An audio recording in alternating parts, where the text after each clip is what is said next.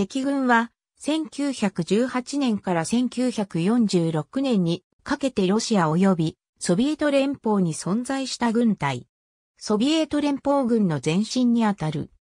1917年より勃発したロシア内戦の最中に労働者、農民赤軍として設立され、1937年にソ連海軍が赤軍から独立した後はソ連地上軍を指す故障となった。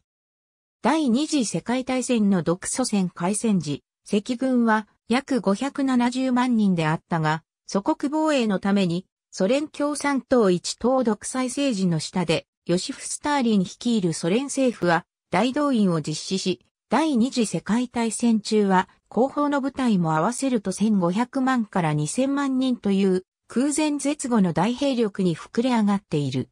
そのうち700万から1000万人が死亡した。第二次世界大戦後は約500万人に減少し、冷戦の終結時には300万人になっていた。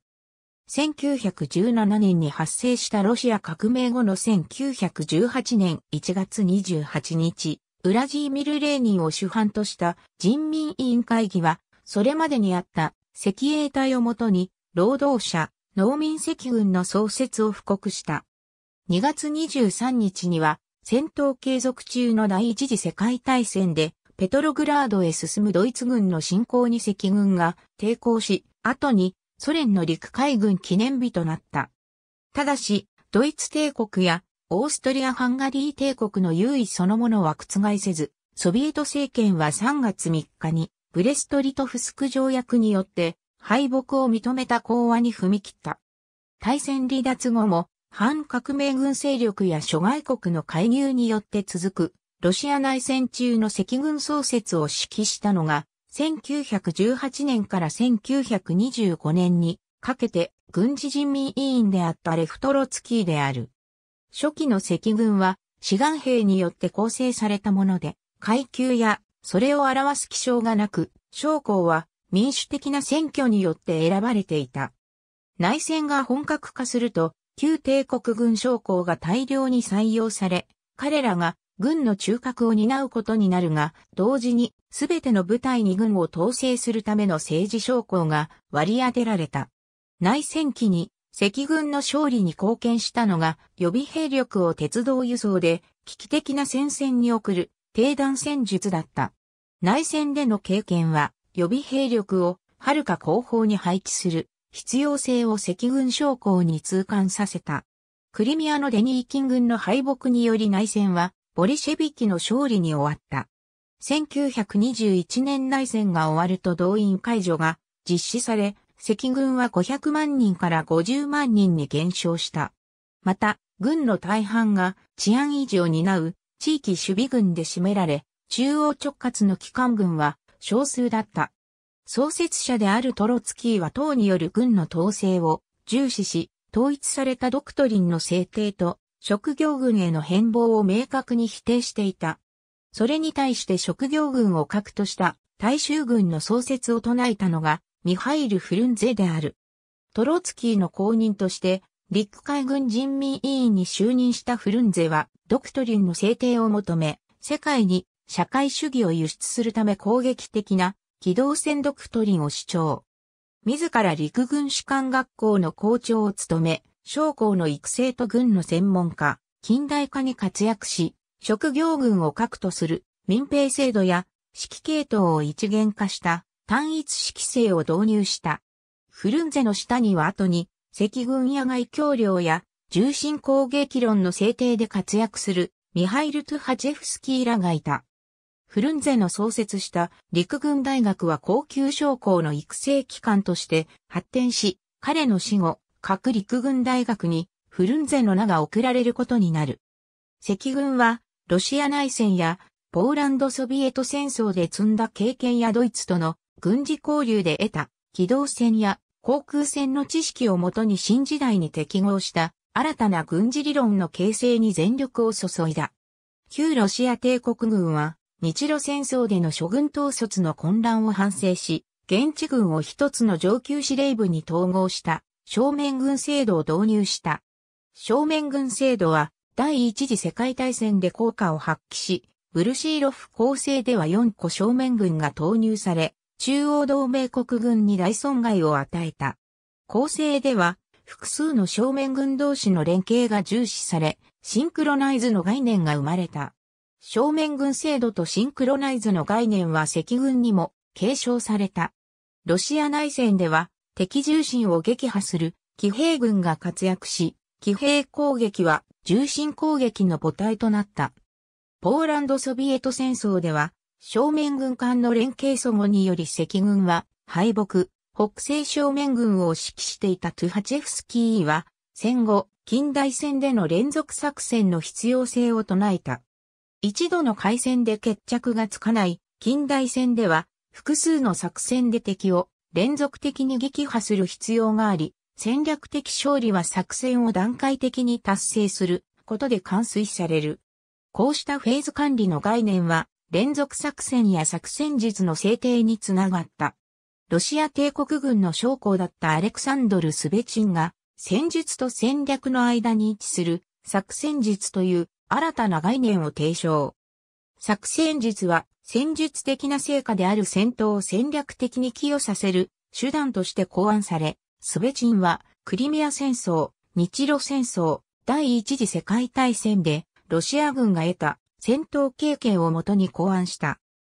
1927年にはスベチンが作戦術を理論的に体系化して作戦での変化が集積して戦術は次の段階へと進化する。戦略は進路を示す。と要約した。西側諸国には作戦術の概念は長年なく、1980年代ベトナム戦争での敗戦を反省したアメリカ軍に注目されるまで作戦術が知られることはなかった。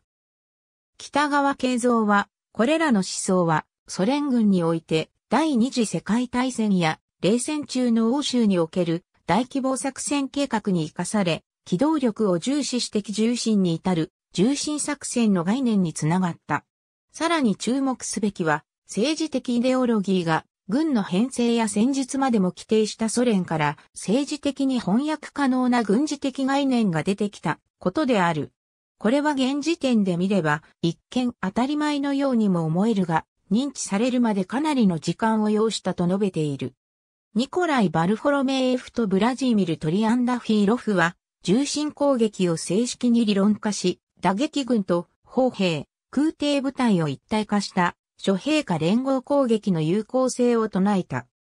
トリアンダフィーロフは十数個師団からなる打撃軍を編成し、20から 30km の幅で集中突破させ他の軍が150から 200km の幅で敵軍の後退を阻止しないと突破は難しいと述べている。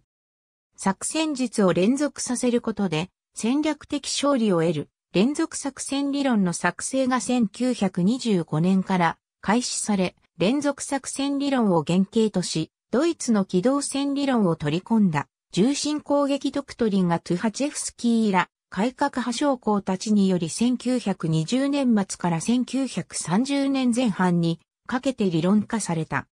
1920年代末から理論に基づいた諸陛下の機械化が推進され、1929年秋には西欧諸国に先駆けて常設の機械化軍団が編成された。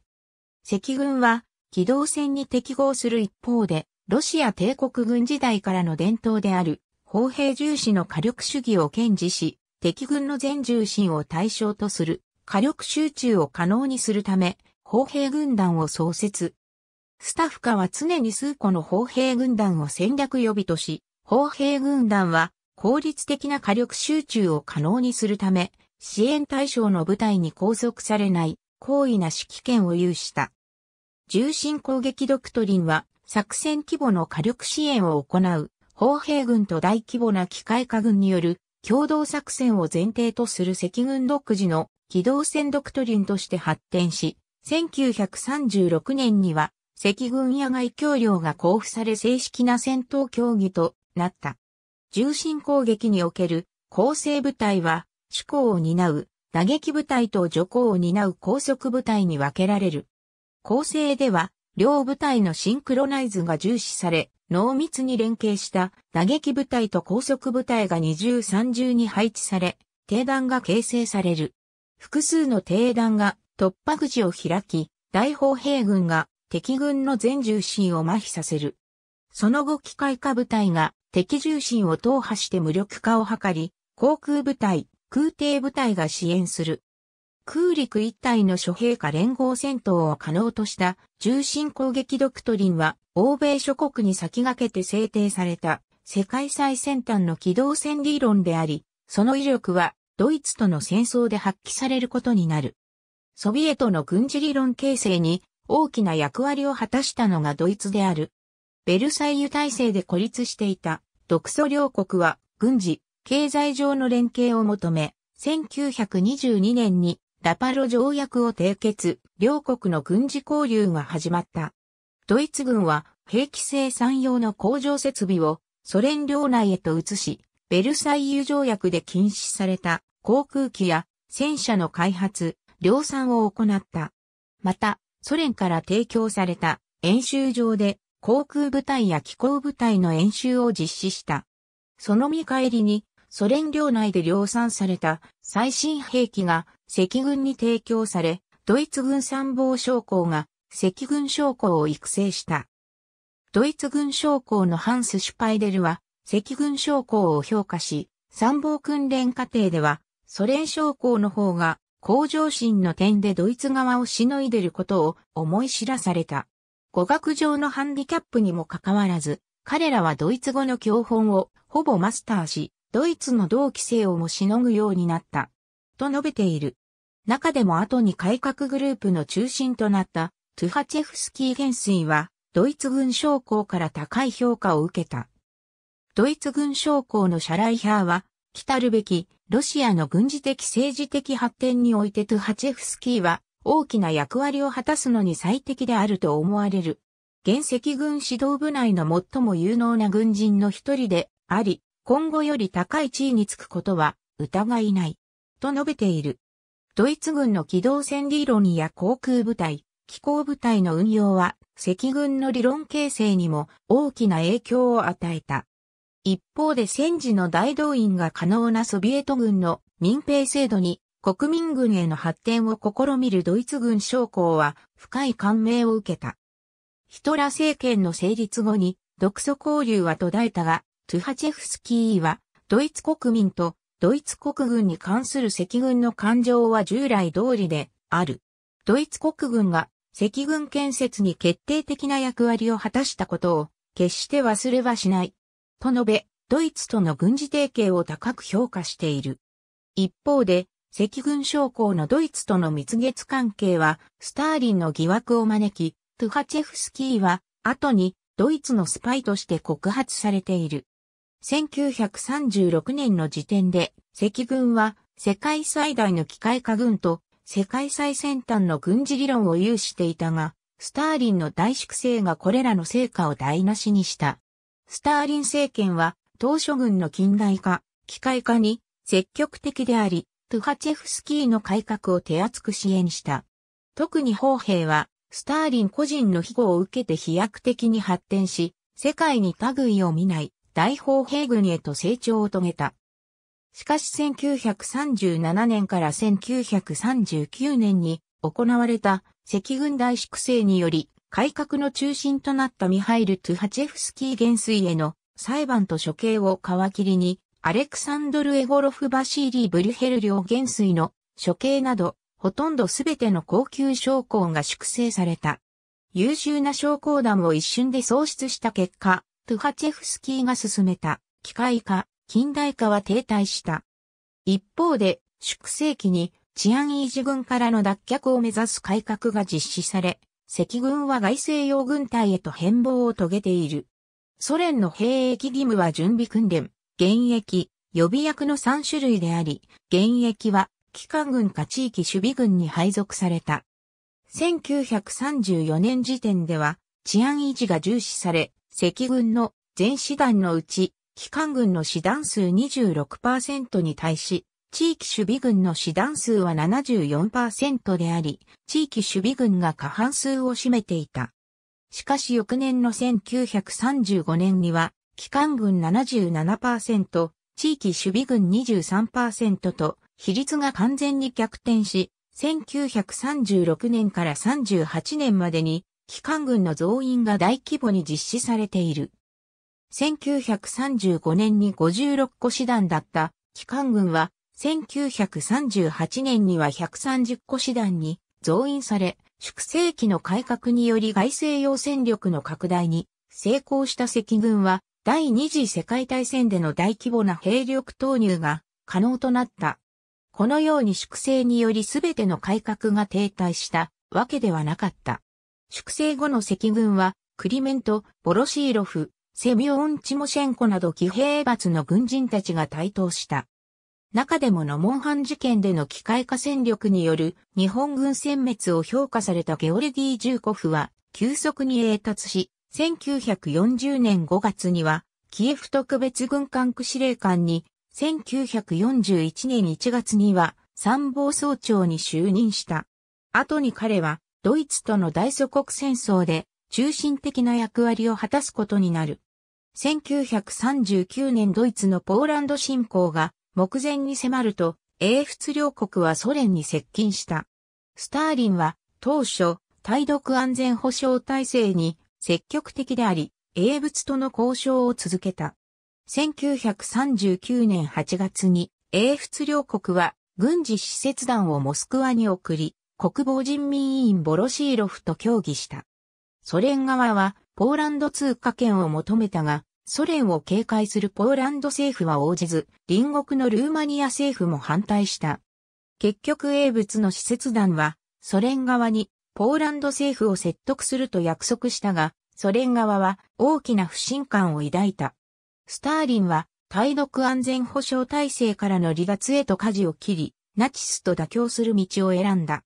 1939年8月24日、両国は独ソ不可侵条約を締結。秘密議定書では、東欧の再分割を約束し、ソ連はバルト三国、ポーランド東部、フィンランドを勢力圏にすることをドイツ政府に認めさせた。9月にドイツ軍がポーランドに侵入すると、モスクワ指導部はドイツ軍の迅速な進撃に驚き、即座に軍の動員を開始した。キエフと白ロシアの両軍管区で戦線が設立され、9月17日にポーランドへの侵攻を開始した。急な動員のため編成が間に合わず、騎兵と機械化部隊の混成部隊が臨時に編成された。しかし、これらの機動集団も兵隊が追いつかず、前進速度を維持するために稼働車両を減らして燃料を確保した。赤軍は、ブク川の分割地点まで迅速に到達したが、平坦面で多くの課題を残した。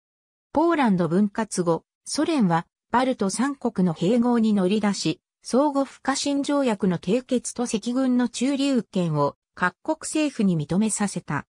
1940年6月には赤軍がバルト諸国を制圧下に置き、各国政府は解体され、ソビエト連邦を構成する共和国として編入された。同時期にルーマニア政府に対してベッサラビアの割譲を要求、キエフ軍管区が南部戦線を編成し圧力をかけた。南部戦線の第9軍がベッサラビア及び北、ブッコビナを制圧した。ソ連の領土要求に対して唯一軍事的に反抗したのがフィンランドだった。ソ連政府はカレリア地境、コイビスト島、ホグランド島などフィンランド政府に領土の割譲を迫った。1939年10月から11月にかけて実施された交渉が失敗に終わると、レニングラード軍管区所属の各軍がフィンランドへの侵攻を開始した。ソ連側はフィンランドの抵抗を侮り、戦線の編成も実施されず、準備不足のまま戦争に突入した。主力の第7軍がカリレア地境のマンネルヘーム線を突破し、第8軍がラドガコ方面から、第9軍がラーテ方面から、第14軍がラップランド地方から進撃する予定だった。第7軍はマンネルヘーム戦突破のため、5個狙撃師団と2個、戦車旅団を第1艇団とし、3個狙撃師団を第二艇団、一個戦車軍団と一個狙撃師団を予備とした。一方のフィンランド軍はマンネルヘーム戦に6個師団を配置、戦力は赤軍の半分に満たなかった。しかし、マンネルヘーム戦はコンクリートの統治下や砲台、地雷、原、鉄条網に覆われ、河川や森林、小宅地帯と連結した非常に堅固な要塞戦だった。12月12日、ソ連第7軍は総攻撃を開始したが、ひたすら同じ地点に攻撃を繰り返し、諸陛下の連携も機能せず、各部隊がバラバラに戦った。航空支援や準備砲撃もすべての陣地にまばらに実施され、目標が特定されなかった。戦車部隊も集結が間に合わず、フィンランド軍の対戦車部隊に狙い撃ちにされ次々と破壊された。第7軍は12月下旬に攻撃を野襲に切り替えたが、フィンランド軍はサーチライトで暗闇を照らして応戦し、結局、マンネルヘーム線の突破は断念するしかなかった。ラーテ街道に進撃した第9軍も、第163狙撃師団と第44機械化師団が敵中で孤立、フィンランド軍のモッティ戦術により細切れに分断され、ニコ師団が事実上全滅した。すべての攻勢に失敗した赤軍は、指揮系統と戦術の再編に乗り出す。各軍を統率する北西戦線司令部が設立され、内戦期の英雄セミオン・チモシェンコが司令官に就任。第7軍には2個軍団が増援として送られ、新設された第13軍が総攻撃の支援に徹することになった。機械化戦の権威ドミトリー・パブロフは、狙撃軍団、騎兵軍団、戦車旅団を、それぞれ1個合わせた特別機動集団を編成。この集団を、表情から迂回突破する主戦力とした。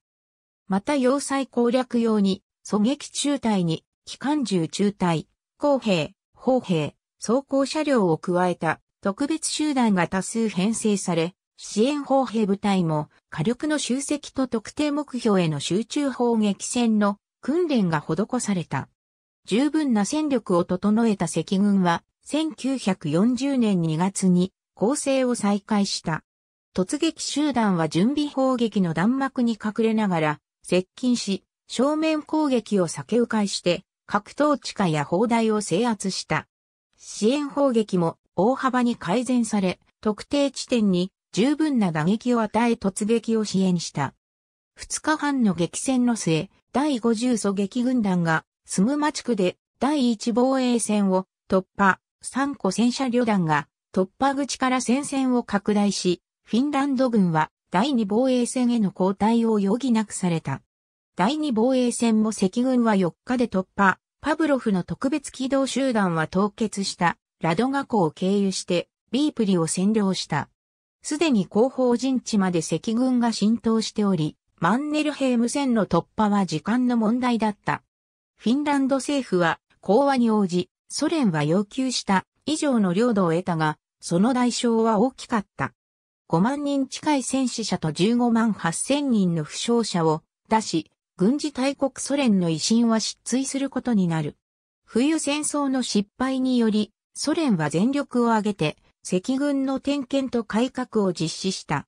まず国防人民委員ボロシーロフが更迭され、冬戦争で結果を出したチモシェンコが公認に就任した。大粛清以来抑制されていた将校の権威と特権が復活、階級制が再導入され、政治将校の権限が低下し指揮系統が一元化された。また粛清で途絶えた機械化部隊の再建も実施され、新任の気候兵総監、ヤーコフ・フェドレンコ中将は機械化軍団の復活を要求。スターリンは8個機械化軍団の創設と独立戦車師団の追加を了承した。機械化軍団は2個戦車師団と1個自動車化師団からなり、3万人の人員と戦量の戦車を持つ。またハルハ川やフィンランドで功績を挙げた有能な将校たちが次々と抜擢された。グリゴリー・クリークやキリル・メレツコフ、ボロシーロフといった古株の将校は一戦を引き、ゲオルディ・ジューコフやミハイル・キルポノスといった新世代の将校が軍の中心に立つことになる。大幅な人事の変更は長期的に見ると大きな利益をもたらしたが、独ソ戦の時点で将校の75%が現職について1年未満だった。1940年12月には、モスクワで高級将校を集めた会議と図上演習が実施された。第一機械化軍団長のロマネンコ中将は、トゥハチェフスキーの重心作戦への回帰を主張し、独立した補給体系と支援体系を持つ機械化軍を創設すべきだと主張した。ロマネンコの主張は、クリーク元帥をはじめとする保守派の反発を招き、スターリンは保守派を支持したため、機構兵力の最大単位は機械化軍団にとどまった。図上演習では、対独戦を模した演習が実施され、即時構成を主張するパブロフと主勢を重視するジューコフが戦った。演習は2回ともジューコフの圧勝に終わり、パブロフ案を支持していたメレツコフは参謀総長を解任され、ジューコフが公認となった。1935年以来、ソ連最大の仮想敵はドイツだった。ドイツ軍の侵入に備えた防衛計画の研究と作成が1938年に始まった。ソ連の欧州部はプリピャチ小宅地によって南北に分断され、赤軍参謀本部は北の城、ロシアに重点を置くのか、南のウクライナに重点を置くのか選択を迫られていた。参謀総長、ボリス・シャポシニコフの計画案では南北どちらにも重点を置き、戦力を近郊に配置することになっていた。1940年7月には参謀本部作戦部長代理のアレクサンドル・バッシレフスキー少将がミンスク・スモレンスク・モスクワ軸を重視する防衛計画を提示した。この計画ではドイツ軍だけでなく日本、ハンガリー、ルーマニア、イタリアなど同盟諸国の参戦も想定され、数軸国軍270個師団が展開すると予測された。バシレフスキーはドイツ軍がモスクワ方面に不評123個師団と装甲師団10個を差し向けると予想。赤軍戦闘部隊の大半を白、ロシアに配置した。しかしスターリンは南を重視していた。国防人民委員チモシェンコはバシレフスキー案を退け、8月にメレツコフが参謀総長に就任すると計画案は大幅に改定され、10月には南のウクライナに重点を置く新たな防衛計画が採用された。この10月計画の正しさを証明するために、12月に図上演習が実施されたが、参謀本部はジューコフに叩きのめされた。この演習の結果、ジューコフが参謀総長に昇進し、防衛計画は大幅に見直された。ジューコフはドニエプル川に予備戦線を配置して決戦兵力とする新たな防衛計画を立案した。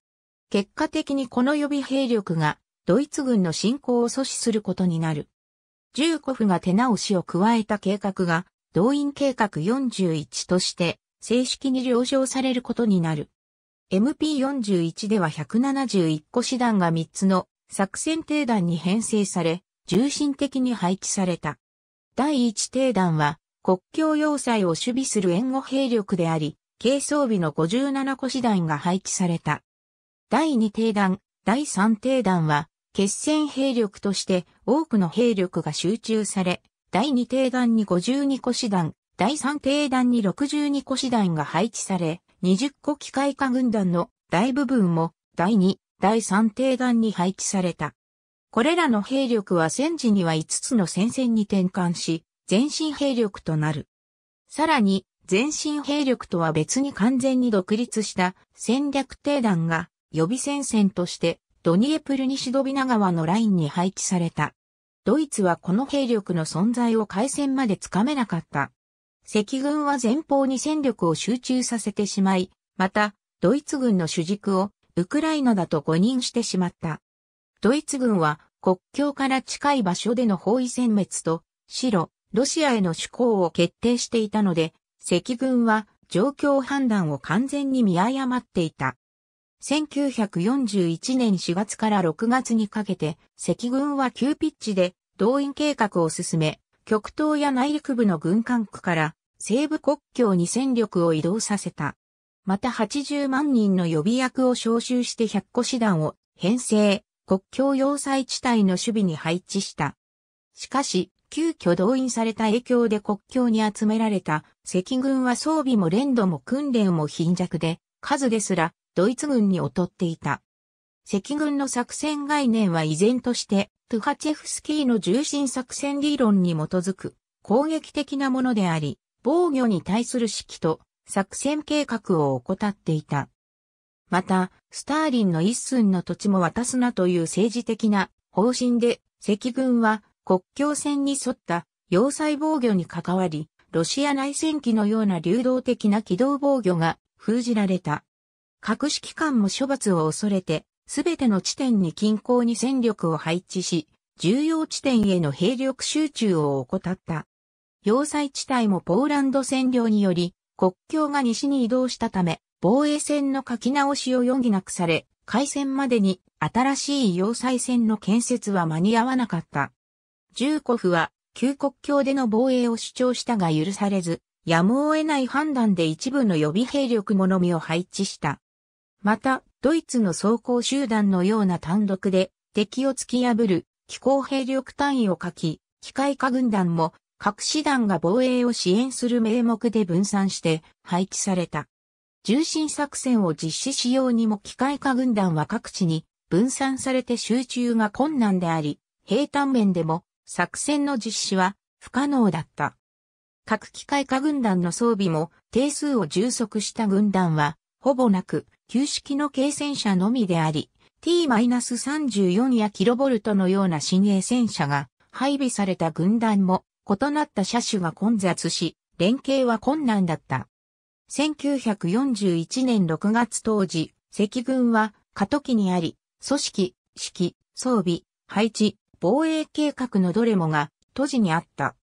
赤軍の戦力が最も脆弱だったその時に、絶頂期にあったドイツ軍が攻撃を仕掛けてきたのだった。初戦での敗北は、赤軍の軍、軍団、師団の戦力を破滅的に減衰させ、指揮官と支援用兵器の不足に対応するには、赤軍機構そのものの単純化が必要だった。軍団単位の解体により、軍司令部は狙撃師団を直接掌握することが可能になった。狙撃師団自体も兵員や物資の不足に対応するため簡素化され、師団に組み込まれていた対戦車砲隊、野砲隊、高車砲隊、機構車両隊などの特化部隊が切り離され、各軍司令官が戦況に応じて自由に配分できるようになった。兵員が定員割れした師団は、旅団として再編成され、経験の浅い新任将校にとって、旅団単位の指揮は現実に適していた。機械化軍団はすべて廃止され、再編成された師団や旅団は、不評支援に回された。機械化され、機動専用に設計された赤軍は解体され、重心攻撃の競技を一旦捨て去ることで、現実に適した部隊編成と兵力の集積を成功させた。1941年冬から1942年春にかけて数軸軍の攻撃に順応していった赤軍は重心作戦の概念を復活させた。モスクワ冬季構成を指揮したゲオルギー・ジューコフは完全装備の部隊を集めた打撃集団を創設、打撃集団を狭い正面に集中投入することでドイツ軍の戦線をこじ開け構成を成功させた。ジューコフの命令は最高総司令部によって制度化され、すべての戦線司令部は、構成時に打撃集団の編成が義務付けられた。狭い戦闘正面に戦力を集中することで、特定のドイツ軍部隊に兵力上の圧倒的優勢を実現させるためだった。また最高総司令部は、砲兵の運用法も制度化し、3段階に分けた砲撃支援の指令を出した。最初の段階では陣地に火力を集中し、機構部隊と不評が前進を始めたら、抵抗拠点に火力を集中、戦線が進むにつれ砲撃支援をより後方へ移動させる。この指令は従来の軍事ドクトリンの確認に過ぎなかったが、砲兵の効果的な運用について重大な改善をもたらした。戦前軽視されていた重心防御への注力は対戦車陣地や複合陣地を生み出し、モスクワとレニングラードでの成功をもたらした。また赤軍は1941年に壊滅した機械化兵力の再建に全力を注いだ。新しい機械化兵力の創設は、装甲兵総監、フェドレンコ上級大将の任務だった。フェドレンコは各種兵科を統合した機械化部隊の構想と概念を復活させ、ドイツの装甲師団に匹敵する戦車軍団を創設した。2個戦車旅団に1個自動車加速撃旅団を加えた、総計5603人と戦車100両の編成だった。フェドレンコはさらに1個戦車旅団と持続的な諸兵科、共同作戦に必要な各種支援戦闘部隊を加えた総員7800人と中戦車98両、軽戦車70両の編成に切り替え、このタイプの戦車軍団が1942年中に28個編成された。9月になるとフェドレンコはさらに大きな機械化軍団の創設を試みた。夏の戦闘で不評の損害が大きかったことから、従来の機械化軍団に機械化、旅団3個と1個戦車連隊、1から2個戦車旅団を加えた新しい機械化軍団を創設、総員13,559人、戦車204両の編成になった。この新しいタイプの機械化軍団は8個しか創設されなかったが、フェドレンコは戦いを通じて、より効果的な編成を考え、1943年にはドイツの装甲軍に匹敵する核兵科を統合した真の機械化兵団を生み出す。ことになる。1942年生機械化軍団は1941年生に比べるとコンパクトになり、狙撃軍を支援する機動兵力としては理想的な集団だった。しかし重心が100キロ以下の小規模な突破にしか運用できず、大規模な包囲作戦を実行するにはもっと大きな戦闘単位の機械化兵力が必要だった。赤軍は残っていた機材の総力を上げて、機械化兵力の再建に取り組むことになる。1941年の赤軍は現実に対処するため、精密な軍事ドクトリンを捨て去り、極度に単純化されていた。42年から43年にかけて試験され、44年から45年にかけて完成することになる新生赤軍は成功に組み立てられ、戦術概念に磨きをかけながら、急速に理想的な重心作戦を遂行できるレベルに発展していった。マスキロフ化とは、赤軍が軍事競技として発展させた欺瞞作戦の総称。偽装から欺瞞に至るまで、軍の欺瞞のための広範な措置を含んでいる。赤軍は、軍事的欺瞞を戦闘活動と軍隊の日常活動を確保する手段と定義し、天皇制作戦やバグラジオン作戦など、大祖国戦争における主要な構成作戦でも用いられ、作戦の成功に大きく貢献した。赤軍の軍事的欺瞞の研究は1920年代から開始され、1929年の赤軍野外協領では驚きは敵に大きな効果を与える。このため、すべての部隊の作戦が最大の隠蔽とスピードで達成されなければならない。と述べられている。1936年の赤軍野外協領でも、火力や部隊の集中や移動に対する軍事的欺瞞の重要性が述べられている。独自の欺瞞作戦を持つ最初の構成は、ゲオレディ・ジューコフの指揮するルジェフブヤ島に対する攻撃だった。ジューコフは、ユーフの付近港での集中を 200km 予想部ことを決め、偽装部隊として4個中隊と3個狙撃兵中隊、122台の車両、9両の戦車を割り当てた。偽装部隊は偽装戦車を作り、ユーフノフを攻撃する準備をするように装った。ラジオは偽の交通情報を流し、ドイツ軍を拡乱した。ドイツ軍はジューコフの欺瞞に誘導され、実際には使用されてない鉄道線に空爆を繰り返し、3つの装甲部隊と1つの自動車下部隊をユーフノフ地区に派遣。本物の部隊は夜間に密林地帯を移動したため、ドイツ軍情報部に察知されなかった。その隙にジューコフは自ら指揮する第32軍と第20軍の進撃を成功させ、1日に40、km 進撃した。赤軍は包囲作戦の意図を秘匿するため入念な欺瞞作戦を実施した。各部隊は夜間にのみ移動し、無線通信は大幅に削減された。攻撃予定地点でも、ドン川に建設された5本の橋を隠すため、17本の偽橋が建設された。16万の将兵が、ボルガ川を渡って配置につき、最終的に100万以上の将兵が、ドイツ軍に気づかれることなく移動した。また、モスクワ正面に布陣する中央軍集団の兵力移動を阻むため、ジューコフがルジェフ攻勢を開始。ドイツ軍の目をルジェフに引きつけ、天皇制作戦への予備兵力集中を成功させた。歴史家、デイビッド・グランツはこれだけ大規模な軍事行動の隠蔽は赤軍の最大の偉業だと評価している。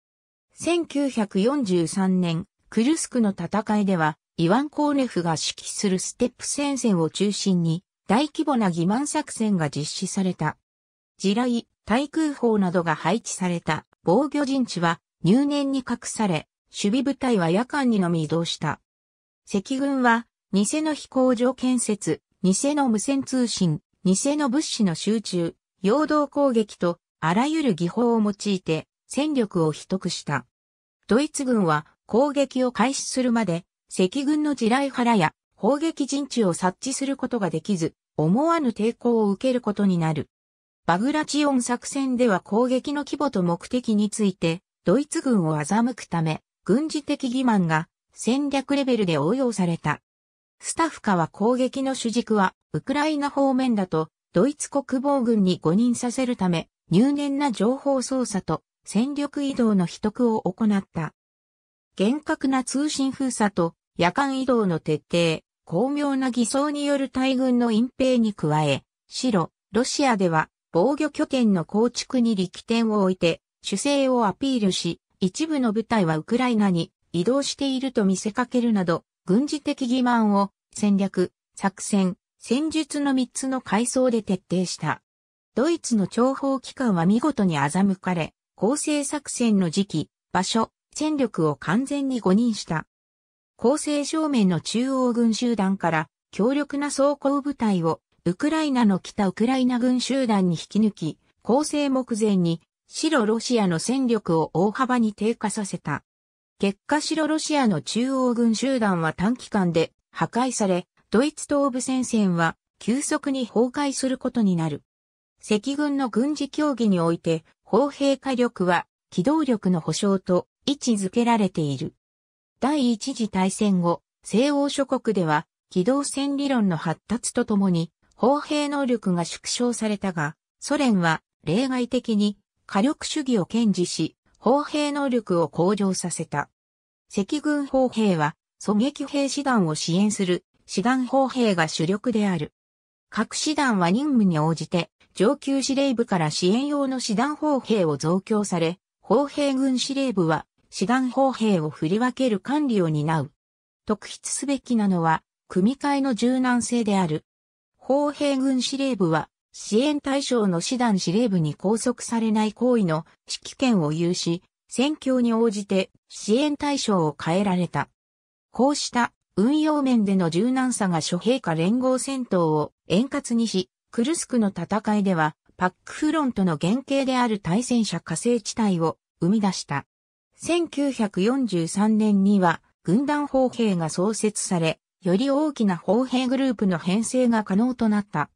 赤軍は戦争の階層構造に作戦という中間領域を置き、戦略と戦術をつなげる実策として作戦術を生み出した。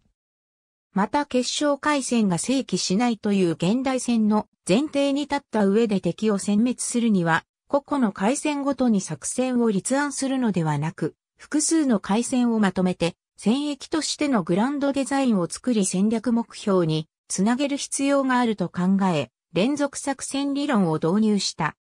連続して作戦を実施するには、機動力とそれを保障する火力が必要となる。そこで赤軍が注目したのが機械化兵団だった。赤軍野外協領では機械化兵団の特性を高度な機動力と絶大な火力、打撃力にあると述べている。殲滅戦を目指す赤軍の戦闘原則は、作戦次元の機動戦で敵軍を無力化し、作戦を繰り返した結果として、戦略次元で敵を破壊することにある。機動戦の主役である機械化兵団は、赤軍の戦闘競技の根幹を担う兵科であり、ソ連は機械化の推進に全力を注いだ。ソ連の主力となる戦車 T-34 は、連続作戦に耐えうる火力と機動力を兼ね備えた戦車として傭兵思想上開発された戦車である。赤軍は旧帝国海軍から接収した艦艇軍を赤色海軍として編成した。その規模は小さく海軍は赤軍の一部門に過ぎなかった。スターリン政権下では大規模な海軍建設が推進され1936年7月に海軍艦艇大建艦プログラムが承認された。同プログラムにより1937年から1941年にかけて型戦艦8隻、型戦艦16隻、軽巡洋艦20隻、共同艦17隻、駆逐艦128隻、潜水艦344隻を内訳とする計533隻の大海軍が建設されることが予定された。1939年4月にはニコライ・クズネッツォフが海軍人民委員に任命され、同年8月にスターリンらの政府首脳に対して、労農海軍建艦10カ年計画を提出した。同計画により、計699隻の艦からなる海軍の建設が推進された。赤軍を指導した将校団は、兵卒や可視艦上がりが多く、労働者や農民など平民層の出身者が多数を占める。ユンカー出身者が多いドイツ国防軍とは対照的であり、第一次世界大戦で高級将校として経験を積んだ将校は非常に少なかった。故に、赤軍の高級将校は非常に若く、ミハイル・トゥハチェフスキーは1935年に42歳で元帥に任命され、ゲオルギー・ジューコフは1941年に44歳で参謀総長に就任している。赤軍はロシア人将校が多数を占めたが、ソ連邦元帥の中にはヒロシア系将校も少なからず存在し、コンスタンチン・ロコソフスキー元帥は父がポーランド人であり、イワン・バグラミャン元帥はアルメニア人、アンドレイ・リョーメンコ元帥はウクライナ人である。クルスクの戦いで活躍した第五親衛戦車軍は、将校6645人中4520人がロシア人、1210人がウクライナ人、323人がユダヤ人、202人がベラルーシ人、78人がタタール人。赤軍の最高単位は正面軍であり、最高司令官に直属する。二つ以上の正面軍を統括する場合は、戦域軍が設置される。複数の正面軍の作戦指導は最高司令官が任命した最高司令官代理が担う。正面軍は複数の諸兵下統合軍を機関とし、後方補給部隊と支援用の飛行軍を持つ。また必要とするときは機械化軍や砲兵軍を直属の部隊として加えることもある。複数の狙撃師団を機関とし、直属部隊と後方補給部隊を持つ諸兵下統合軍。作戦構成時には打撃軍の名が付く時がある。目覚ましい戦功を立てた軍は新鋭の称号が与えられる。狙撃軍団と機械化軍団が戦略単位として設置されることがある。機械化軍団は2個戦車師団と1個自動車化狙撃師団、オートバイ連隊を機関とし後方支援用の通信、工作支援大隊を持つ。独ソ開戦時、単位の巨大さから運用の困難さが指摘され1941年7月に解体された。1943年に復活。狙撃3個連隊を機関とし、砲兵連隊と後方補給部隊を持つ。西欧の軍隊に比べ師団の兵員数が少なく、8000から9000人程度である。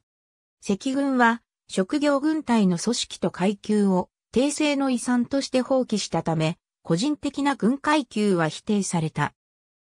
階級に代わって、役職の略称である職位制度が導入された。1935年に軍階級が復活し、1940年には、チモシェンコ改革の一環として、将軍の階級が復活した。ロシア帝国の階級章を修正した階級章が1943年に再導入された。赤旗勲章は1918年9月16日に制定された。ソ連最初の勲章。民間人を対象とする赤旗労働勲章と差別化するため軍務労働勲章と呼称されることもある。レーニン勲章は1930年4月6日に制定された。軍人だけでなく民間人や政治家にも授与された。赤星勲章は1930年4月6日に制定された。国防、治安関係者限定の勲章。ソビエト連邦英雄、1934年4月16日に制定された。可視官から元帥にわたり、階級に関係なく授与された。主な授与者は、ゲオルギー・ジューコフ、セミオン・チモシェンコ、レオニード・ブレジネフ。祖国戦争勲章は、1942年5月30日に制定された。独ソ開戦後に初めて制定された勲章。受勲に必要な具体的な戦果が規定され、授与者の死後も遺族の保持が認められた。1942年7月29日に制定された。帝政ロシアの名将アレクサンドル・ズボーロフの名を冠した勲章。指揮官専用の勲章であり、階級によって等級が異なる。部隊に授与されることもあった。1942年7月29日に制定された。帝政ロシアの名将ミハイル・クトゥーゾフの名を冠した勲章。スボールフ勲章と同じく指揮官専用の勲章だが、1945年には戦車生産に尽力したチェリャビンスクトラクター工場に授与された。1942年7月29日に制定された。中世ロシアの英雄アレクサンドル・ネフスキーの名を冠した勲章。下級指揮官専用の勲章。基本的に前線指揮官に授与されるため受勲者の戦死率は極めて高かった。ボグダン・フメリニツキー勲章は1943年10月10日に制定された。ウクライナの英雄ボグダン・フメルニツキーの名を冠した勲章。ウクライナ語表記の勲章であり、ロシア語以外の表記はこの勲章が初めて。ウクライナ解放を重く指す諸作戦の最中に制定され、受勲者は第1から4ウクライナ正面軍に属している将校が多かった。勝利勲章は1943年11月8日に制定された。指揮官や政治家、国家元首専用の勲章であり、受勲の対象者は大作戦を成功に導いたものに限られる。主な受勲者は、ヨシフ・スターリン、アレクサンドル・バシレフスキー、ルーマニア国王ミハイ一世。1943年11月8日に制定された。対象者は一般の兵卒と総長以下の下士官。敵陣に一番乗り、夜間の切り込みで敵軍の資材集積所を破壊など、困難な任務を達成した兵士に授与された。東部ヨーロッパ地域の解放において、赤軍は残忍で大規模な殺戮、略奪、強姦を行った。これは、ソ連領内で行ったドイツ国防軍やナチスの親衛隊による住民や投降した兵士への残虐行為と対をなすものだったが、赤軍兵士の凶暴化は1945年4月のベルリン攻防戦でその頂点に達したことが、当項目の英語版で出典として用いられた、ヨーク大学教授のリチャード・ベッセルの Germany 1945、From War to Peace などで指摘され、自らもその一員となったドイツ人女性ジャーナリストの著書、ベルリン陥落1945では、強姦被害者を200万人と推測している。世界難民問題研究会協会のドイツ課長に当たるライヒリンク博士によれば、ソ連赤軍がベルリンまで侵攻してくる間に190万人の女性が強姦されたという。また、第二次世界大戦末期にソ連が日ソ中立条約を一方的に破って、千島列島や南カラフト、満州から朝鮮半島に侵攻したソ連対日産戦時も、ソ連赤軍は満州、南からふと、朝鮮半島などに住む多数の日本人女性を集団的に強姦した。これらの行動は、戦後の日本、西ドイツ両国政府の外交政策、及びソ連圏に組み込まれた東ヨーロッパ諸国の民衆における大祖感情を倹約、拒絶の方向へ大きく導いた。1941年6月22日時点での組織。赤軍有票海軍は海軍人民委員部に所属していた。ありがとうございます。